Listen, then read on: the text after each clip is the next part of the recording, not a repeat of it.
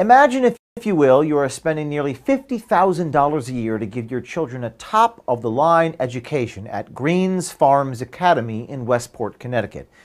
This elite school states its goal as, quote, provide students with a sense of connection, a foundation of trust and respect.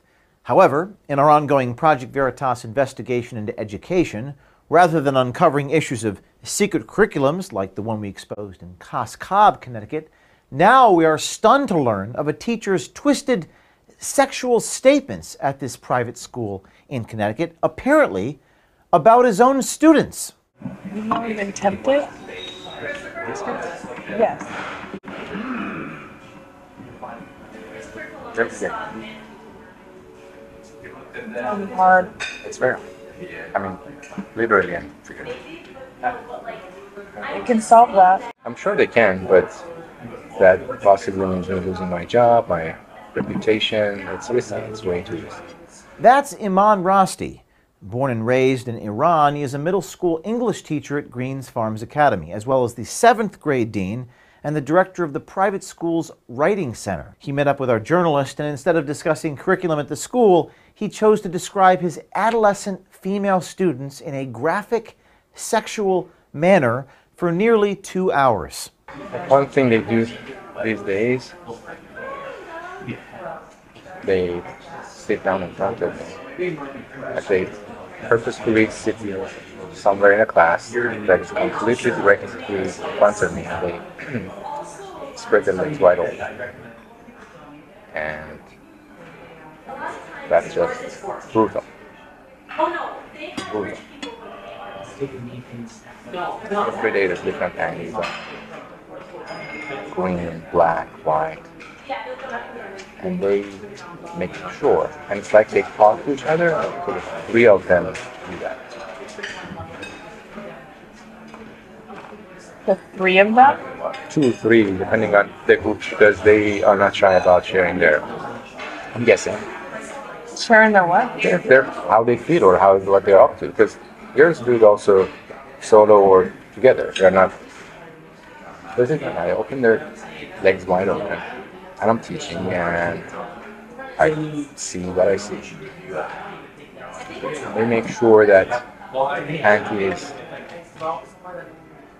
panties are like positioned in a way that I actually see the thing. Well, you saw the underwear. What else did you see? I can the side. So I control my teaching, so I do the best thing I can. Because if I do three people are talking there, two people there, you know, it's not gonna work. They have to give me all their attention. So I'm talking and I look down and I see that. You see what? And I see someone sitting like this. Like what? Like this. I can't see. To explain. They're sitting like this. Short short skirt. And the green panties are kind of inserted in. Do You see that? See what? Again? see that. You see that picture of um, the image, the, it was not image, the actual. You say, what should I say? It's your picture that you're showing from Oh, that's fine. Well, how can you concentrate? How can you continue talking what you're talking when you see that? I don't know, for women, if you see, I don't know, I guess for women it's sexy too. You see a man with a heart on and that, you know, maybe it's sexy, I don't know. If you find that person sexy, probably sexy. I don't know if it's sexy for a man to see a woman or a woman to see a man. I don't know that. But what I know is that it's hard to continue talking as if nothing has happened in your mind, in your brain. And they smile and they smirk at you. And they close and open, close and open times. They're annoying. Like when girls start having sex, it's, it's, it's interesting for someone like me who has been in and out of relationships and all my life and married and all that. You see changes in face and appearance. You probably too.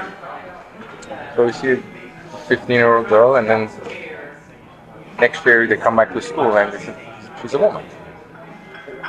She's a woman. There's no way she has gained weight just doing nothing. It's clear that she has had sex, a lot of sex. Part of the reason why those girls give me attention, in addition to me being genuine with them and honest with them, I think is maybe they get that vibe, that sexual tension. I think I, I feel like they get it. They don't say anything. Look at them. Now, after our journalist met up with Rasti, we weren't sure if his statements were true or just a fantasy conjured up in his mind. But in a second meeting, he doubled down on his statements. Okay, and then what happened that's real? What happened? What? What happened that was real? Everything else I told you. So, sitting in my in front of me in a chair and spreading legs so I can see. Yeah. Sure that when they bend over making sure that when you get, okay, and but they ride, yeah, when I ride, then you can see their, a nice, big, beautiful, firm. yeah, They they're not, make sure I see them. yeah. So everything that you told me about them was fantasy? Except for that I see, the side of the titties, the ass that I see, the bending down, and no, I have not. Despite Rasti's claims that he hasn't done anything with his young students, he said he is willing to make exceptions on his quote principle to not F his students. I uh, get the vibe. Uh-huh. It's obvious, but I refuse because I don't want my students. That you don't come?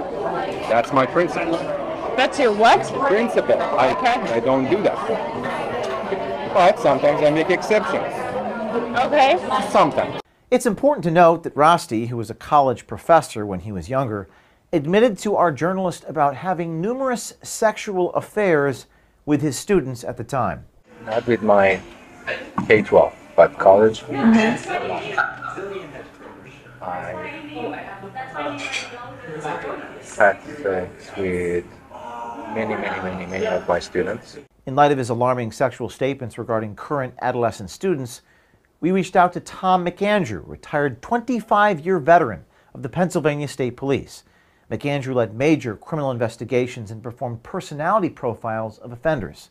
We had McAndrew review our interview for his assessment of Rasti's comments. The concern with this particular individual is that he sort of has blurred the lines uh, between fantasy and reality. He certainly is in a position of power and authority, and he should recognize that role. When I was in the Pennsylvania State Police, uh, the unit I was in, we would often look at threat assessments and uh, elevation of somebody's behavior. And certainly, this individual would strike me as somebody, if he has not already acted out, meaning, you know, victimized uh, children, he certainly has thought about it. When they start to justify that behavior in their mind, which he seems to do throughout that conversation, it becomes very concerning. If it looks like a duck and quacks like a duck, it's probably a duck. I wouldn't want this individual around my teenage uh, child when he, this is where his thought process is. And he seems to almost have an obsession with it. As you know, frequently as he talked about it, shows that it's constantly on his mind. The Sandusky scandal uh, at Penn State, the years of concern, people were raising the, the red flag and it got ignored. All these scandals, if they haven't proved something about human nature, we should be more in tune to what's going on. We are placing the employee on leave and will be promptly investigating this matter and taking appropriate action. To be clear, Iman Rasti has not admitted to acting on any of his sexual feelings towards underage girls in his classroom or anywhere else. However, his relentless discussion about them in a sexual manner is worth reporting. If you or a student you know has been the subject of predatory behavior at our trusted educational institutions, send us a tip at veritastips at protonmail.com or give us a call at our signal line. Be brave, do something.